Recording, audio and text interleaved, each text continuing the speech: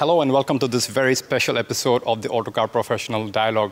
With me, we I have Dr. Elmar Degenhart, the CEO of Continental uh, AG. Uh, Dr. Degenhart, uh, thank you for talking to Autocar Professional. And uh, we got a very good glimpse of the future of mobility and how the way Continental, a global supplier, sees it.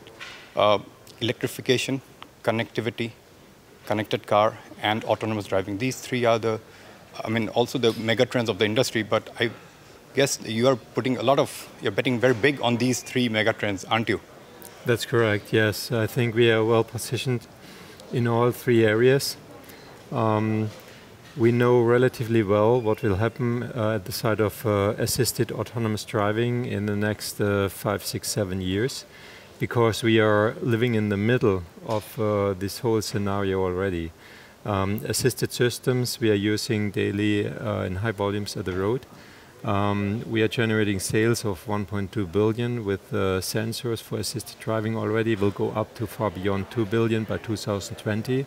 This is the fastest growing product segment in our in our company, and assisted driving helps to reduce fatalities and accidents significantly in the next years.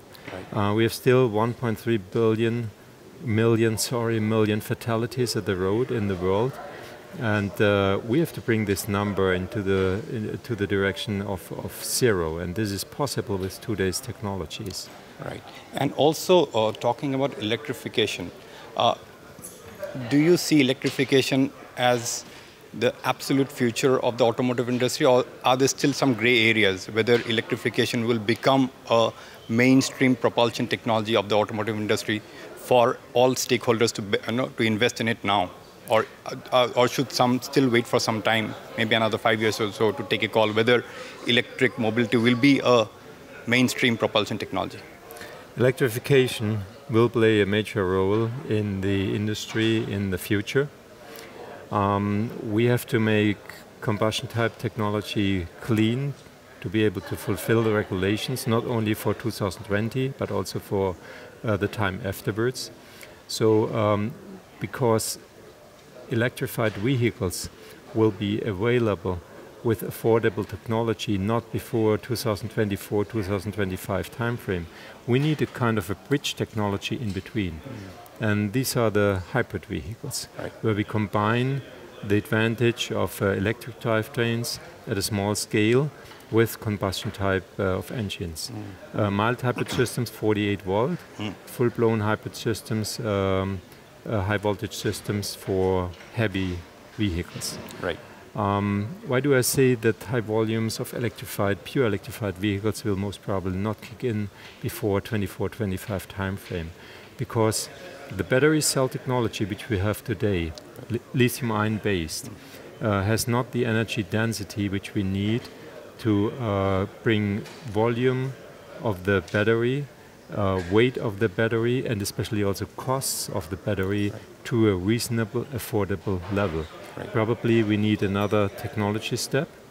Probably we will move towards what we call solid state technology, um, where we have a solid electrolyte in uh, no longer a liquid, liquid one.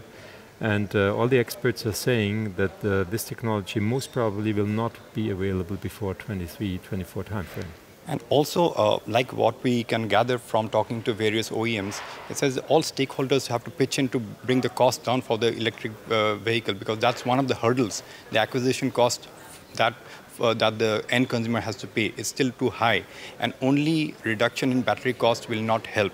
So OEMs will have to kind of bring down cost uh, at the manufacturing end, uh, suppliers. So as a global tier one supplier, you know, what role do you think, you know, how much uh, effort are you putting on you know, bringing down cost for technology or solutions that will go into electric vehicles?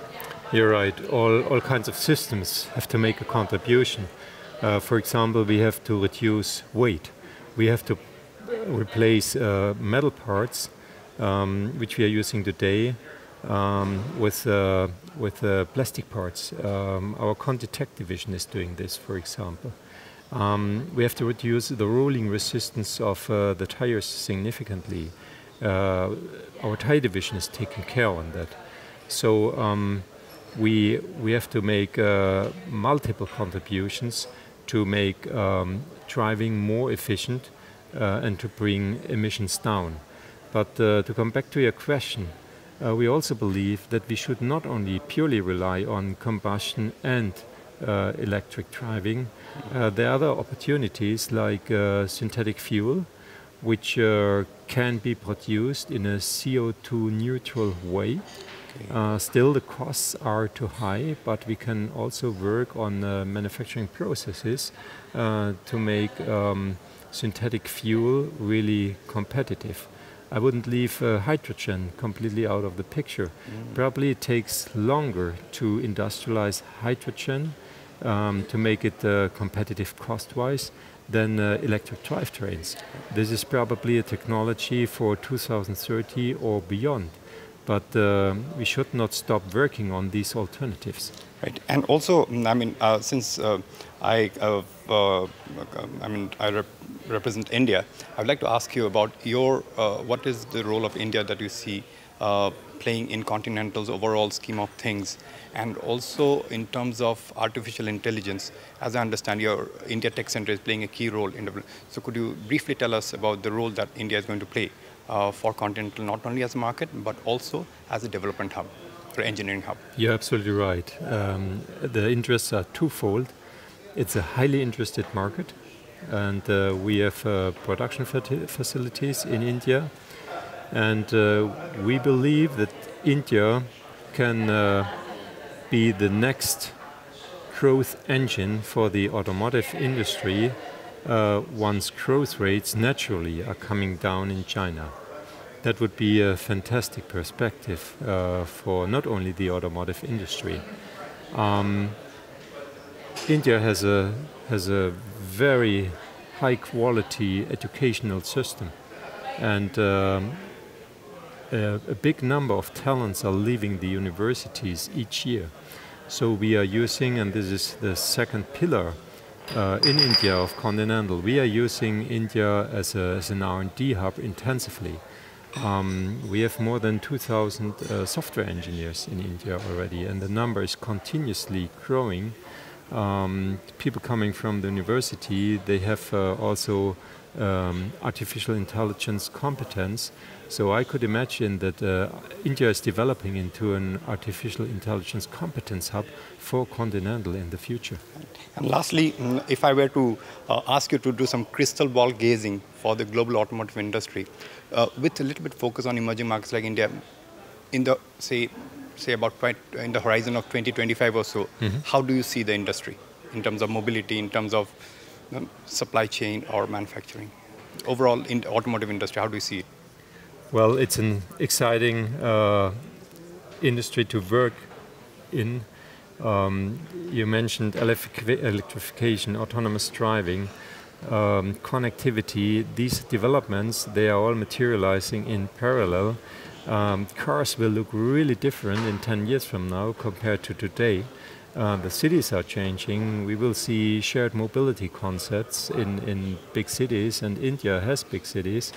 So, um, to be able to make a contribution to more intelligent, to smarter, to cleaner driving for the sake of the whole society is a, is a great thing to do. All right. Dr. Elmar Degenhart, thank Thanks you very much lot. for talking thank to Autocar Professional. Uh, it's a pleasure meeting you. And Thank you very much for watching this episode of the Autocar Professional Dialogue. Do keep following us on social media, on our website, www.autocarpro.in, and of course, our fortnightly magazine, Autocar Professional. Thank you very much. Goodbye.